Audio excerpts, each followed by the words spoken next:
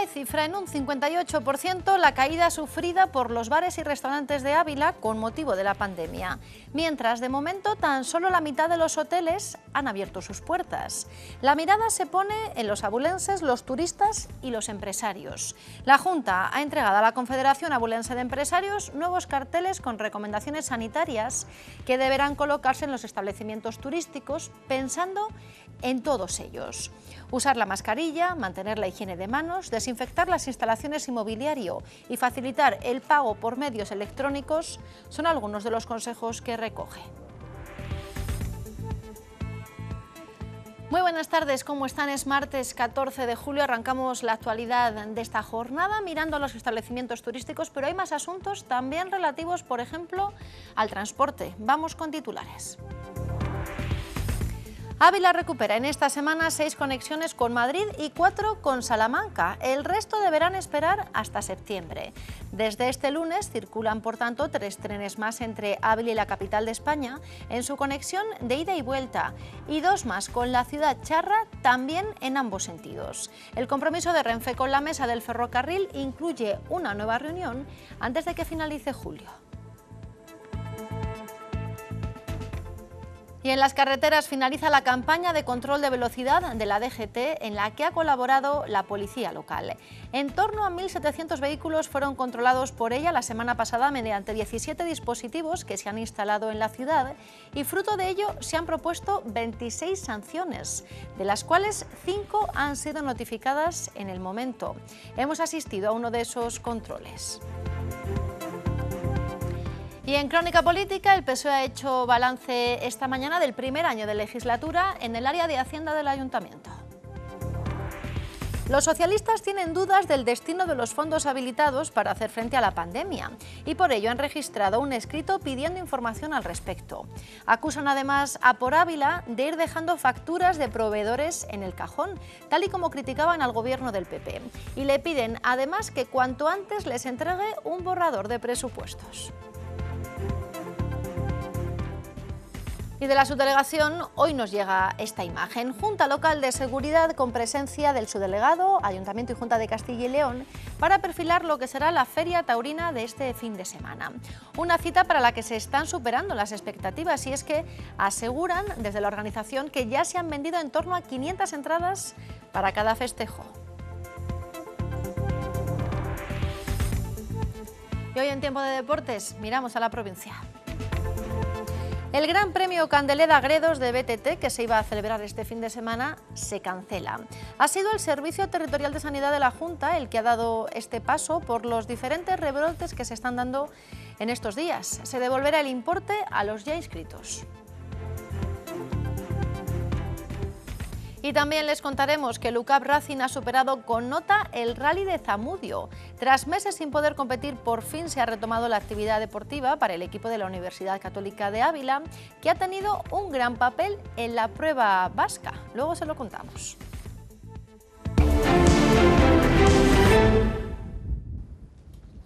Es la imagen de esta jornada de martes 14 de julio, cielos despejados, en un día en el que la mínima registrada en la capital ha sido de 13 grados. En la provincia, 7 grados en el puerto del Pico. Abrimos ya este tiempo de noticias. Lo hacemos con los establecimientos turísticos abulenses porque bares, restaurantes y hoteles van poco a poco adaptándose a esta nueva normalidad. En ellos piensa la Junta de Castilla y León que esta mañana ha entregado a CONFAE un nuevo decálogo de medidas sanitarias. En su presentación se ha cifrado el daño que les ha hecho la pandemia. Elena Rodríguez.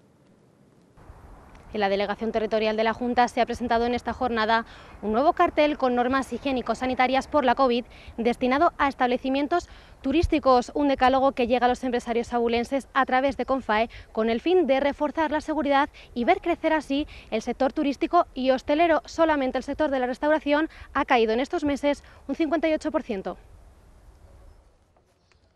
un nuevo decálogo con diferentes medidas sanitarias que se colocará en los establecimientos abulenses con el fin de concienciar de la importancia que tiene seguir la normativa para prevenir nuevos contagios. No solamente en que no se propague el virus, sino también en identificar perfectamente unas zonas eh, seguras que son precisamente las zonas de restauración, las zonas hoteleras, donde cualquier eh, turista, donde cualquier ciudadano puede acudir eh, con plenas garantías. Con la reapertura de los bares, hoteles y restaurantes, son muchos los empresarios quienes deben cerciorarse de que los clientes obedecen y respetan el distanciamiento. Nosotros hemos convertido en vigilantes, en el cumplimiento de la norma. ¿Por qué? Porque somos los primeros interesados que se cumpla la norma, porque no queremos desactivar el protocolo de COVID-19. Queremos colaborar con la Administración. Todo ello con el fin de evitar una nueva caída en el sector. Tras los meses del confinamiento y la llegada del periodo estival, el turismo rural ha visto crecer notoriamente su demanda, a diferencia de los hoteles situados en la capital o el sector de la restauración. Aproximadamente la mitad de los hoteles todavía no han abierto y en el tema de restaurantes y bares la caída del consumo es de aproximadamente un 58%. Porque aunque queramos disfrutar del verano y el periodo de vacaciones, no debemos olvidar la mascarilla y mantener el distanciamiento en todos los establecimientos. Asegura la Confederación Abulense de Empresarios que con la entrega de esos carteles informativos, la Junta de Castilla y León se repite en otro gesto de apoyo durante la pandemia, algo que también dicen está haciendo la Diputación. Eso sí, echan en falta la colaboración del Ayuntamiento, lo ha dicho así esta mañana Juan Saborido. El Ayuntamiento de Vera no está colaborando con el mundo del comercio, ni con la hostelería, no colabora, no vemos una colaboración plena, no es una crítica, es una realidad no me invento absolutamente nada. Por tanto, la colaboración no es buena porque eh, tenemos el IBI, como bien sabéis, que ya le tenemos que pagar. Lo hemos dicho siempre, un impuesto que usted me lo perdona eh, durante dos meses y luego tengo que pagarlo, eso no es ninguna solución. Estas medidas, estas medidas que hemos puesto en la mesa del comercio y en la mesa del turismo, eran medidas para allá, para acometerlas inmediatamente y no las conocemos. De hecho, no nos han vuelto a llamar ni a reunirnos. Por lo tanto, CONFAI y sus federaciones están asistiendo a todas las mesas. Estamos colaborando, estamos aportando ideas pero no vemos que ninguna se plan se desarrolle. Frente a la caída sufrida por los bares y los restaurantes, hablamos del despegue de los alojamientos de turismo rural. Es el caso de muchos abulenses que prefieren no salir de casa y también de muchos turistas que buscan la desconexión y el ocio, pero sobre todo la seguridad. Un año en el que el turismo rural está siendo la salida para muchos veraneantes, y en concreto las casas rurales, que destacan por la intimidad y el aislamiento de las grandes ciudades, así como por las medidas de seguridad que procuran especialmente los propietarios.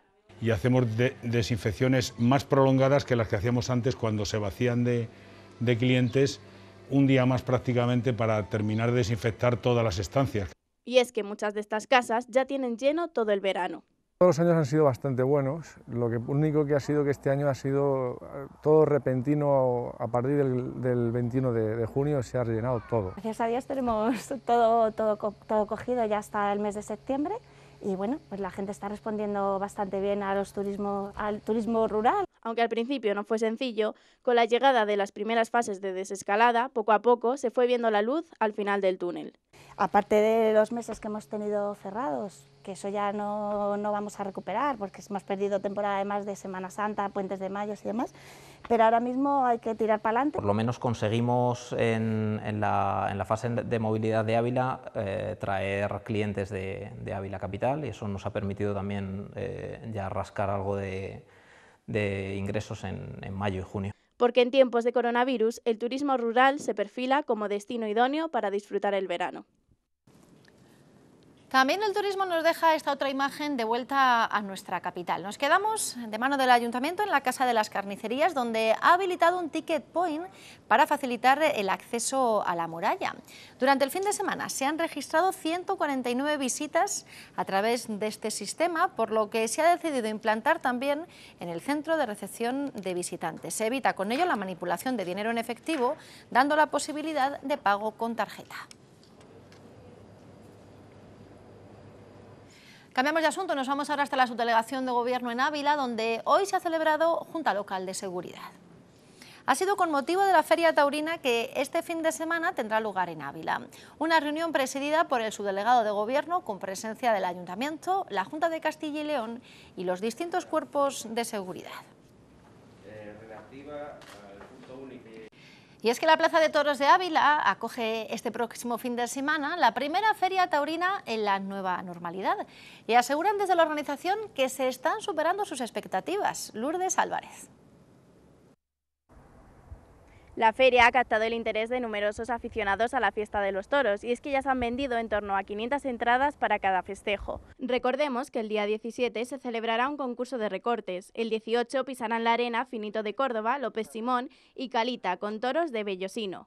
Y el domingo 19 el cartel estará compuesto por los espadas Morenito de Aranda, Manuel Escribano y Octavio Chacón, con toros de la ganadería de Adolfo Martín.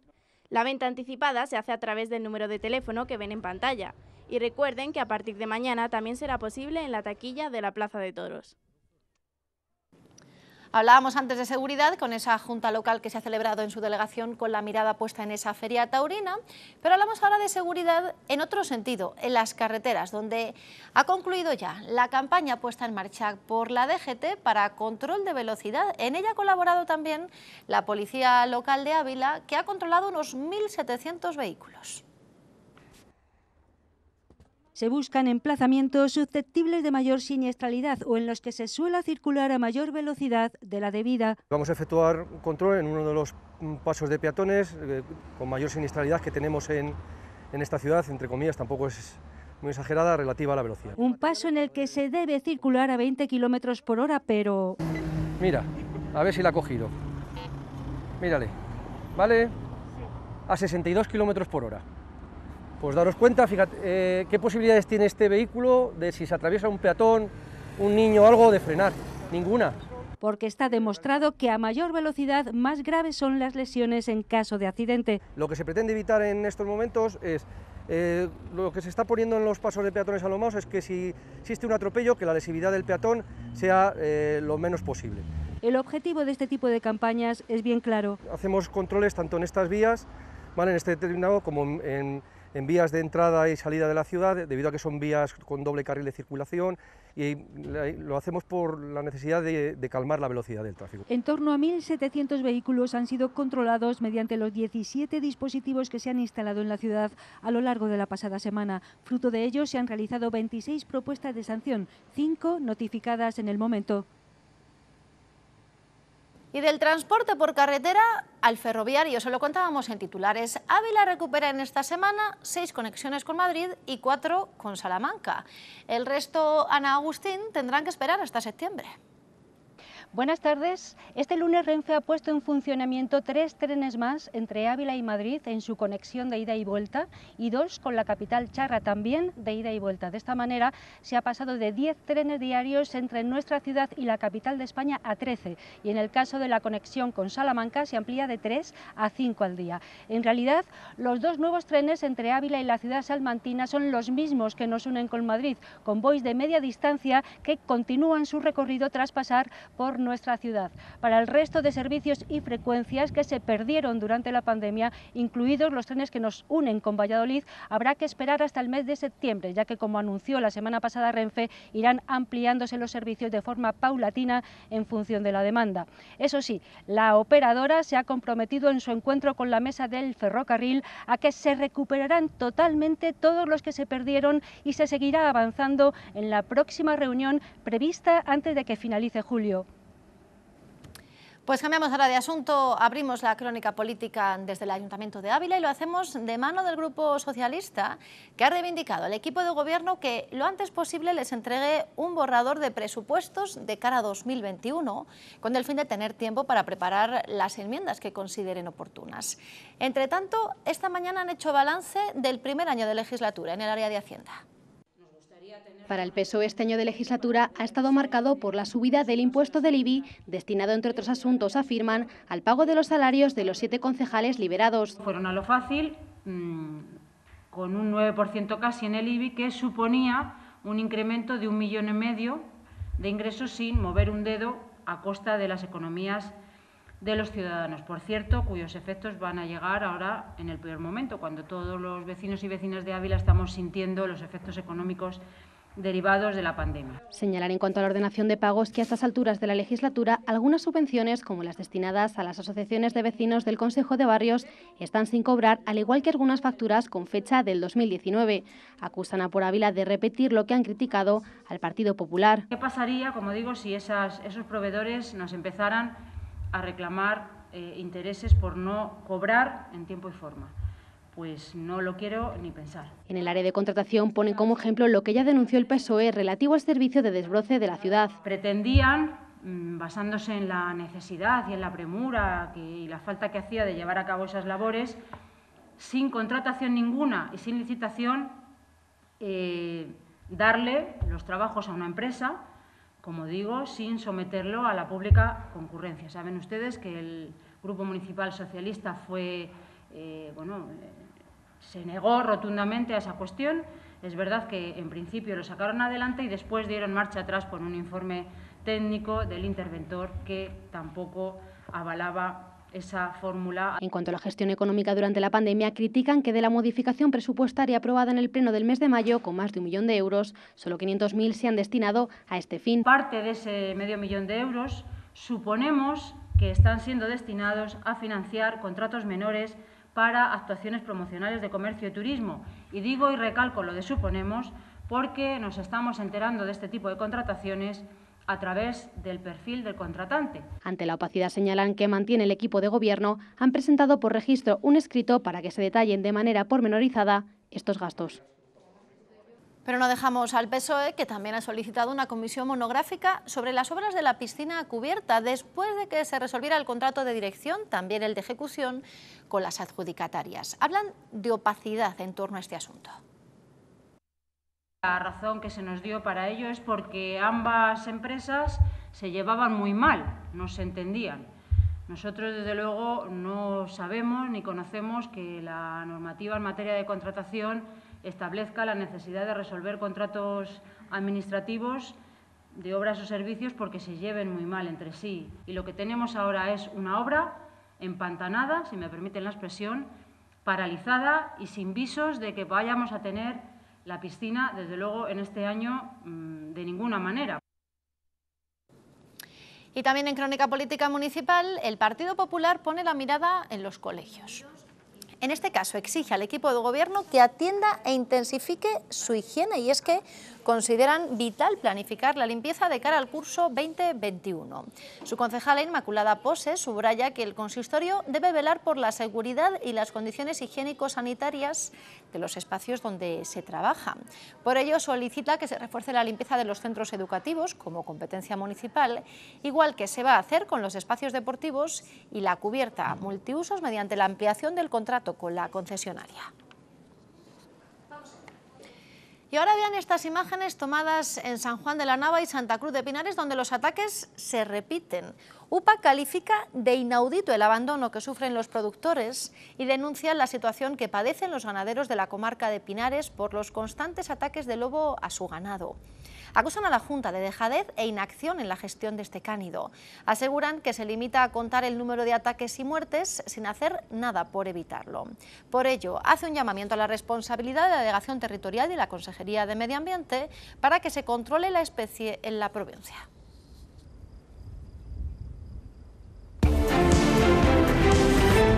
Sin ningún nuevo positivo por COVID-19 en las últimas horas en Ávila.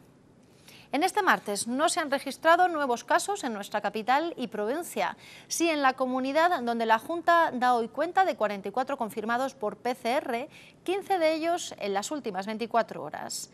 En Castilla y León no ha habido nuevos fallecimientos en esta jornada. Con ello, en Ávila el número de muertes se mantiene en 143 en el complejo asistencial y 127 en residencias con positivo confirmado y 85 con síntomas compatibles.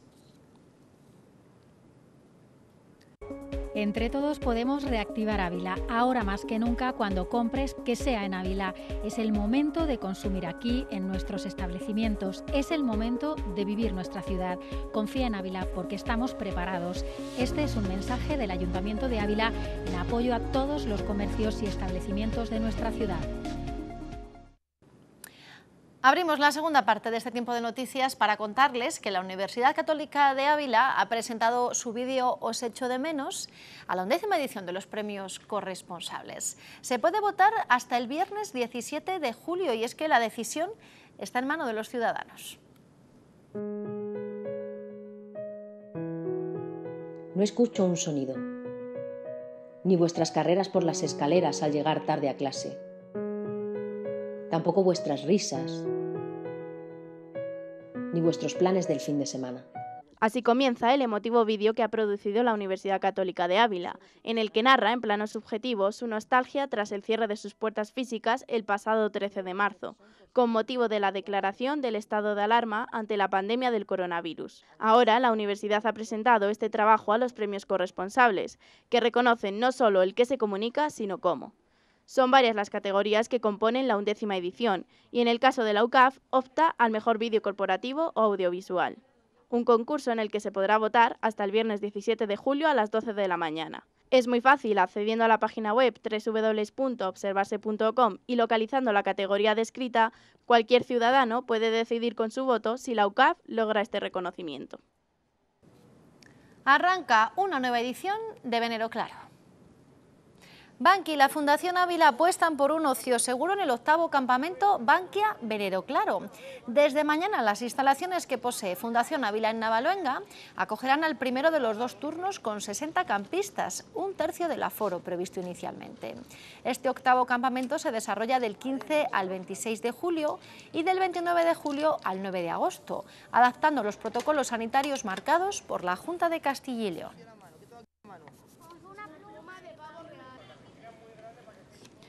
Y en lo social, Banqui y la Fundación Ávila colaboran con Cáritas y con FAEMA en varios servicios.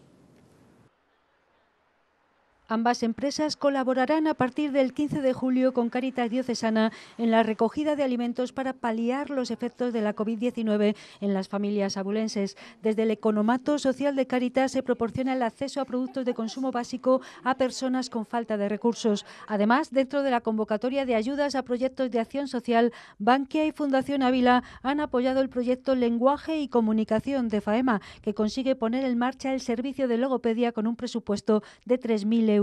Se atenderán de forma individualizada las necesidades de 800 usuarios en toda la provincia mediante el desarrollo de talleres de lenguaje y comunicación destinados a aquellas personas con problemas de salud mental para mejorar su interacción social.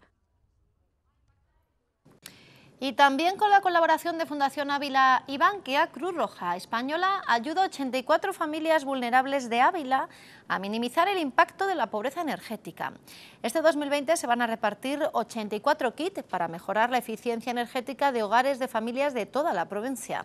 Los 84 kits contienen bombillas LED de bajo consumo, regletas, burletes bajo puertas y para ventanas, paneles de radiador reflectantes y difusores de agua. Hoy en Tiempo de Deportes hablamos de BTT.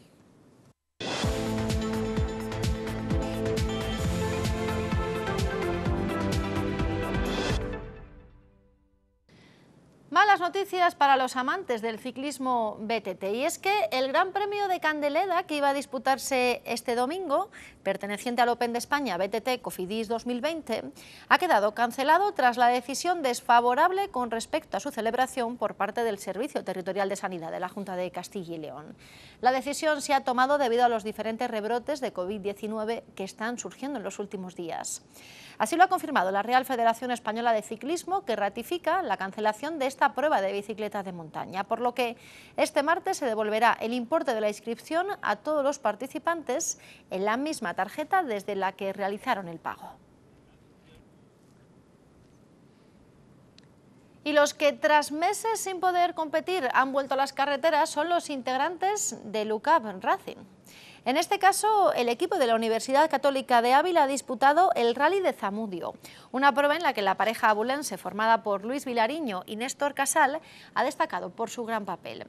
Aunque la prueba se disputó bajo mínimos, sí se hizo con total seguridad y sin problemas mecánicos para los de UCAP Racing, que obtuvieron finalmente un quinto puesto, si bien rondaron por momentos los mismos tiempos que la cabeza de la carrera. Prueba superada, por tanto, con nota. Ahora, esperar el Rally Ourense Termas, que en dos semanas reunirá a la élite del CERA, entre los que estarán UCAP Racing Engineering.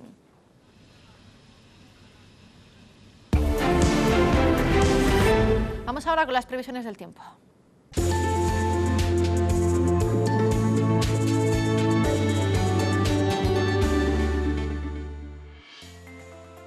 Nos se contemplan grandes cambios en la jornada de mañana en lo meteorológico. En la Moraña llegaremos a 30 grados en las horas centrales del día y la mínima rondará los 11 positivos, cielos despejados. En la capital abulense también lucirá el sol y la máxima prevista rondará los 29 grados. La mínima se queda en 11 también. De camino a la comarca Barco Piedraíta la jornada será soleada. En el barco de Ávila alcanzaremos 30 grados de máxima, si bien la mínima se queda fresca, 11 grados. Y en el Valle del Tieta registraremos las temperaturas más altas. Las máximas rondarán entre los 35 grados de Candeleda o Ladrada y los 34 de otras localidades como Arena de San Pedro o Piedra Laves. Ya en el Valle del Alberche las máximas pueden rondar los 33 grados en localidades como el Tiemblo o Cebreros, día soleado y en Tierra de Pinares el cielo también estará despejado mañana. La máxima prevista en las Navas del Marqués es de 28 grados. Por lo tanto, mañana nos esperan grandes cambios, temperaturas estables en las máximas con mínimas frescas y cielos despejados. De cara a los próximos días sube el mercurio. El sábado se esperan máximas de en torno a 34 grados. Los cielos estarán prácticamente despejados, si acaso con alguna nube alta. Pues con el tiempo nos vamos. Gracias por acompañarnos.